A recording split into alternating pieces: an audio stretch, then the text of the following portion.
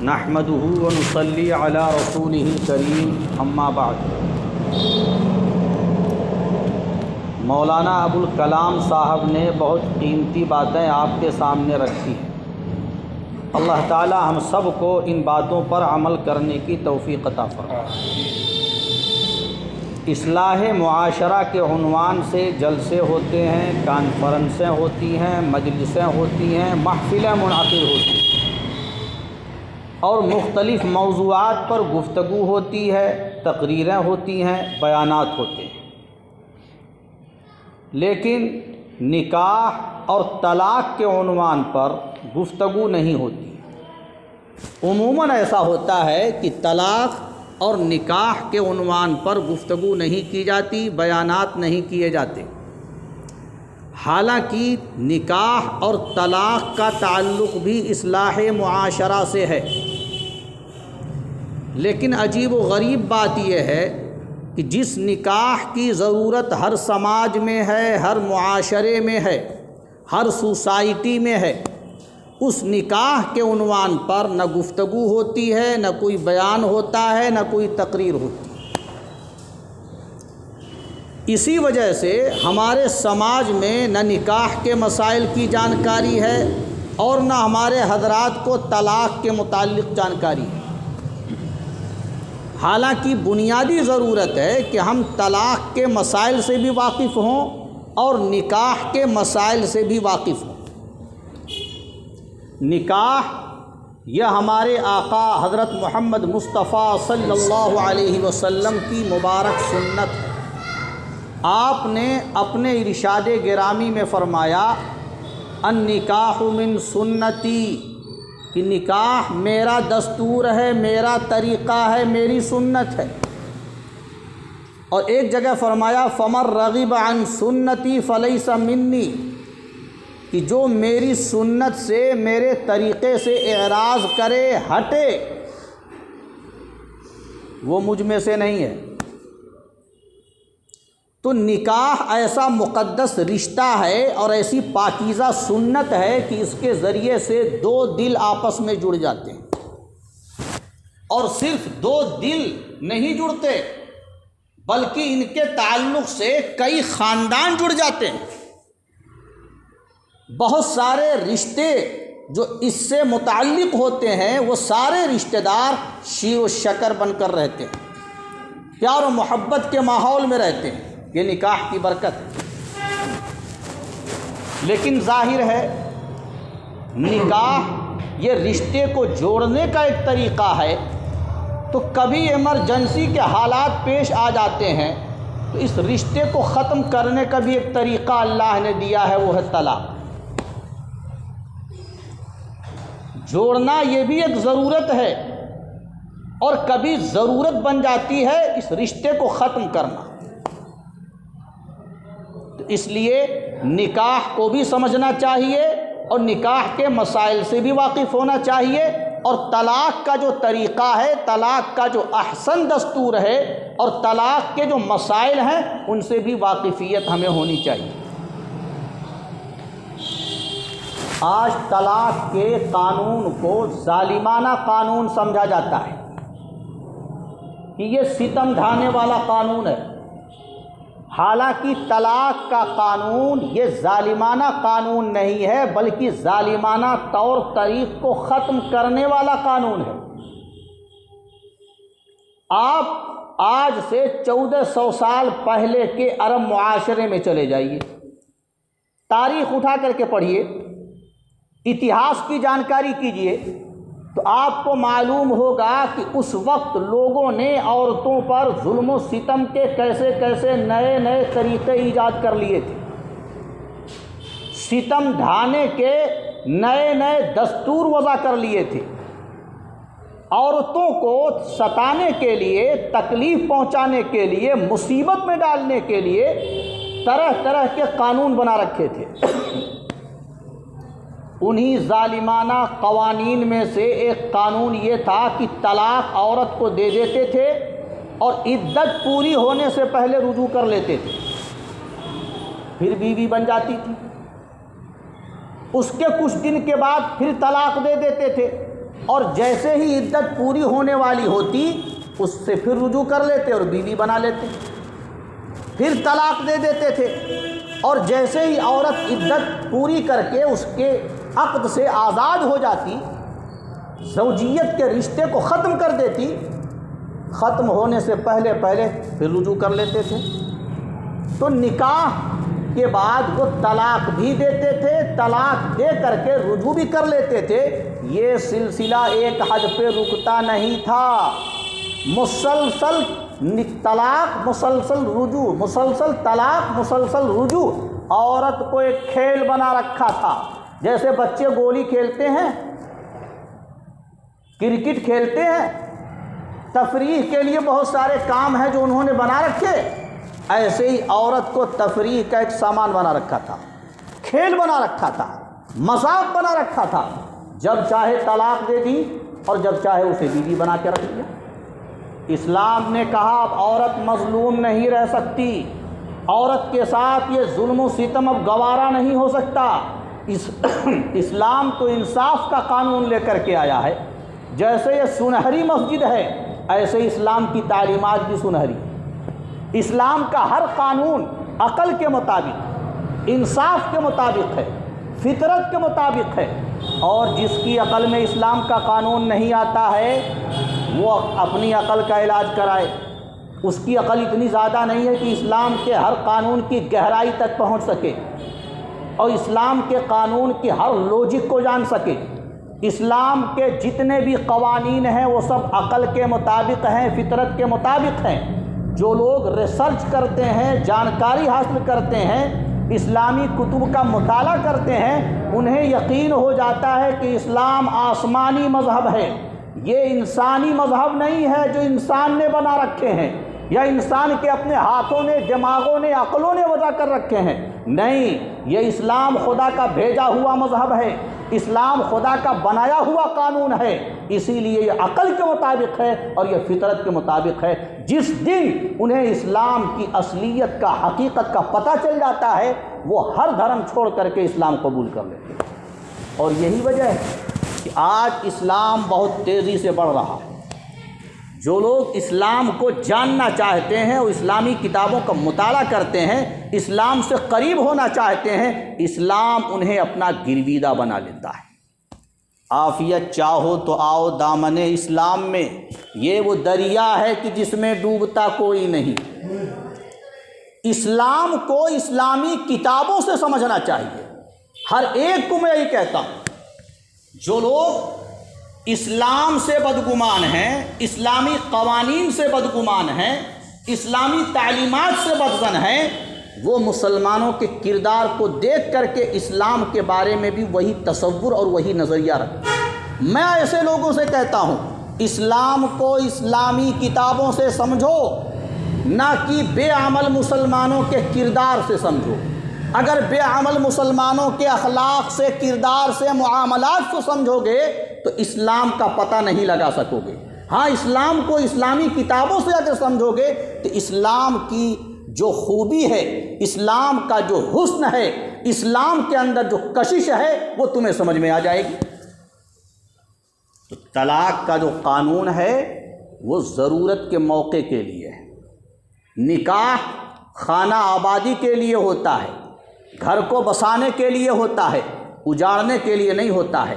लेकिन कभी ऐसी ज़रूरत पेश आ जाती है कि मियाँ बीवी में इत्तेफाक राय नहीं हो पाता, मिजाज मेल नहीं खाते, दोनों में साथ रहने की कोई ऐसी कोशिश कारगर नहीं होती कि जिसकी वजह से दोनों शीर व शकर होकर के रहें, आपस में प्यार मोहब्बत के साथ रहें। दोनों एक दूसरे से मुतनफ़िर हो जाते हैं। दोनों एक दूसरे से बेजार हो जाते हैं। ऐसी बेजारी की सूरत में दोनों को एक साथ रहना एक अजाब बन जाता है। किसी मुसीबत से कम नहीं होता है। ऐसे मौके पर ज़रूरत पड़ती है कि दोनों को जुदा कर दिया जाए, ताकि ये भी आज़ादी के साथ ज़िंदगी गुजारे और ये भी सुकून और राहत के साथ ज़िंदगी गुजारे। तो कभी निकाह बाईस रहमत होता है तो कभी तलाक बाईस रहमत होती है। आ गई बात समझ में? तो निकाह के बाद तलाक का जो कानून है, ऑप्शन है, ये भी ज़रूरत के तहत रखा गया। है पहले कोशिशें होती हैं कि मेल मिलाप हो जाए, तलखियाँ दूर हो जाएँ, जो रंजिशें हैं उनका ख़ात्मा हो जाए, लेकिन बड़े लोगों के असरात के बावजूद और लोगों की फहमाइश के बावजूद सुलह की कोशिश के बावजूद दोनों के अंदर मेल नहीं हो पाता।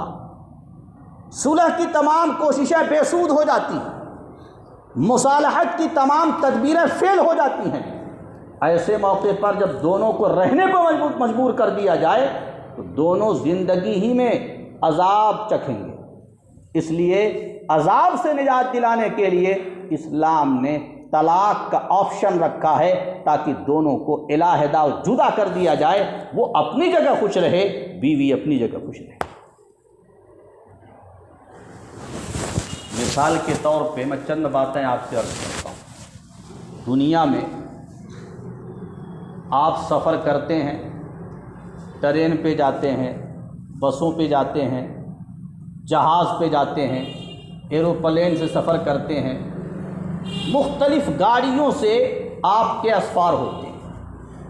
तो जैसे इन सवारियों में अंदर जाने के दरवाजे हैं, ऐसे ही बाहर निकलने के भी दरवाजे हैं। दाखिल कैसे हुआ जाए, उसके भी दरवाजे बने हुए हैं, और बाहर कैसे निकला जाए, उसके भी दरवाजे बने हुए हैं। आपने गौर किया होगा, इन सवारियों में इमरजेंसी डोर भी लगे होते हैं। इमरजेंसी विंडो ये भी ज़रूरत की चीज़ है इमरजेंसी विंडो कि अगर कोई हादसा पेश आ जाए, नागहानी हालात रूनुमा हो जाए तो ऐसे इमरजेंसी के मौके पर इस डोर के ज़रिए से इंसानों को, मुसाफिरों को निकाला जा सके। फौरी तौर पे इनकी जानों को बचाया जा सके। इसलिए ये डोर लगाए जाते हैं। जिस मुसाफिर बरदार तैयारे में, सवारी में ये विंडो न हो इमरजेंसी डोर न हो तो ऐसी सवारी को कानूनी परमिशन भी नहीं मिलता। जो सरकारी महकमा है ट्रांसपोर्ट डिपार्टमेंट है, वो परमिट भी नहीं देता। लीगल परमिट नहीं। तो सवारी को भी चलने की इजाज़त नहीं है बगैर इमरजेंसी डोर के। तो दाखिल होने का रास्ता है तो बाहर निकलने का भी रास्ता है। इमरजेंसी में जानों को बचाया जा सकता ऐसे ही दुनिया में आप देखते हैं, इदारे होते हैं, तंजीमें होती हैं, कंपनियाँ होती हैं। इनके अपने दस्तूर होते हैं, उसूल होते हैं, कवानीन होते हैं। मिंबर साजी के लिए ये शराइत हैं रुकनीत के लिए ये दस्तूर है। इन उसूलों को फॉलो करे, करोगे तो कंपनी के मेंबर बन सकोगे। और अगर इनकार करोगे तो नहीं बन सकोगे।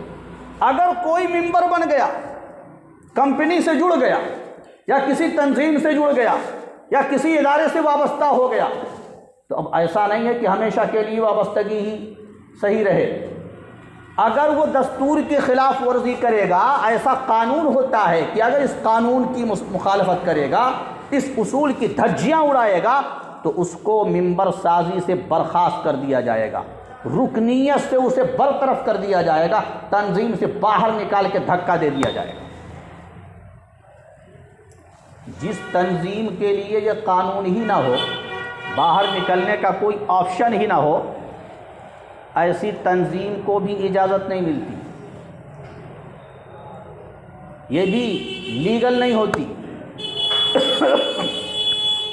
इसलिए जैसे दुनिया में ये कवानीन है, ऐसे ही इस्लाम के अंदर तलाक का कानून है। निकाह हो गया, अगर इमरजेंसी कोई ज़रूरत पेश आ गई तो तलाक के ज़रिए से रिश्ते को ख़त्म किया जा सकता है। मिसाल के तौर पर शादी हो गई निकाह हो गया। अब ये मालूम ये हुआ कि जिस लड़की से निकाह हुआ है, उस लड़की का तो कहीं मुआशका चल रहा। इसके दिल कहीं और मिले हुए हैं। इसकी मोहब्बतें किसी और के साथ हैं और निकाह इसके साथ पढ़ाया गया। ऐसे मौके पर क्या कोई अपने बेटे को कहेगा, इसी लड़की के साथ तुम्हें ज़िंदगी गुजारनी है? लड़की ने निकाह में ईजाब कबूल से अपनी रज़ा की इजाज़त दे दी। लेकिन माँ बाप के इस अमल से वो राज़ी नहीं थी। वालदेन की रज़ा से वो खुश नहीं थी। निकाह तो जैसे तैसे हो गया, लेकिन दिल उसके अब भी मिले हुए हैं किसी और से। ऐसे मौके पर आपका भाई अगर दूल्हा है आपका बेटा अगर दूल्हा है कि आप उसको कहेंगे कि इसी दुल्हन के साथ अपनी ज़िंदगी गुजार ले? या आप चाहेंगे कि ये लड़की अलग हो जाए, तू अलग हो जाए? ऐसे ही मौके के लिए इस्लाम ने तलाक रखा। है या फ़र्ज़ कीजिए, रिश्ता हो गया, निकाह हो गया, शादी हो गई, और पता ये चला कि दूल्हा मियाँ तो पागल है। बात चली तो अब रात तो पहले नहीं खुला, लेकिन शादी के बाद पता चला क्रेक है स्क्रू ढीला है कुछ, और कुछ नहीं, ज़्यादा ही कुछ ढीला है। अब ये ज़िंदगी कैसे गुजारेगी? फ़र्ज़ कीजिए अगर आपकी बेटी उस जगह पर है, आपकी बहन उस मौके पर है क्या आप उस पागल के साथ बेटी को भेज देंगे, या भेज दिया है तो क्या ज़िंदगी भर उसको उसके साथ रखने पर मजबूर करेंगे? वो बेटी अब मजलूम बन कर के पूरी ज़िंदगी काटे। आप नहीं चाहेंगे ना? तो अब निकलने का क्या तरीक़ा है? इस्लाम ने ऐसे ही मौके के लिए तलाक रखा है। कि अगर निकाह हो गया है तो तलाक का ऑप्शन भी हो है। या एक और मिसाल समझें। रिश्ता होने के बाद पता ये चला कि दूल्हा ना मर्द है। उससे पहले ये बात दबी हुई थी, ये बात मख्फी थी पोशीदा थी, लेकिन रिश्ता हो गया, निकाह हो गया, रुखसती हो गई, अब पता चला कि दूल्हा नामर्द है, क़वत मर्दानगी से महरूम है। तो ऐसे मौके पर बेटी को मजबूर किया जाएगा कि उसी नामर्द के साथ अपनी जवानी गुजार दे, अपनी जवानी का खून कर दे, या कहीं गुनाह का रास्ता तलाश कर। आखिर उससे छुटकारा पाने के लिए क्या ऑप्शन? है अगर तलाक को जालिमाना कानून कहते हैं तो यहाँ समझ में आता है कि यह जालिमाना कानून नहीं है यह बाईस रहमत है। कभी कभी तलाक की ज़रूरत भी पड़ती निकाह हो गया, शादी हो गई, और पता चला कि दूल्हा तो एक नंबर का शराबी कबाबी है, और लड़की शरीफ घराने की है, पूरा घराना शरीफ है। संजीदा मिजाज के लोग हैं। लड़की भी उसी माहौल में पली हुई है। उसकी तरबियत भी ऐसे ही संजीदा माहौल में हुई है। अब ये उस शौहर के साथ अगर जाएगी तो शौहर पी करके आएगा, रोज़ाना लठ बरसाएगा उसके ऊपर। वो ज़बान से बात नहीं करेगा, वो डंडे से बात करेगा। शराब पी करके आएगा और तू तू मैमे से बात करेगा। संजीदगी से गुफ्तगु नहीं होगी, वो तो गालियों से बात करेगा। क्या आप चाहेंगे आपकी बीवी इसी तरह उसके साथ रहे? पागल तो उस लड़की को भी पागल बना देगा। शराबी उस बेटी की ज़िंदगी ख़त्म कर देगा। और जो नामर्द है उसकी जवानी को बर्बाद कर देगा, गुनाह के रास्ते पे डाल देगा। ऐसे मौक़ों के लिए और ऐसे बेशुमार मौक़ों के लिए इस्लाम ने तलाक का ऑप्शन रखा है कि अगर ज़रूरत पड़े तो इस तलाक के ज़रिए से दोनों में जुदाईगी की सूरत इख्तियार कर ली जाए।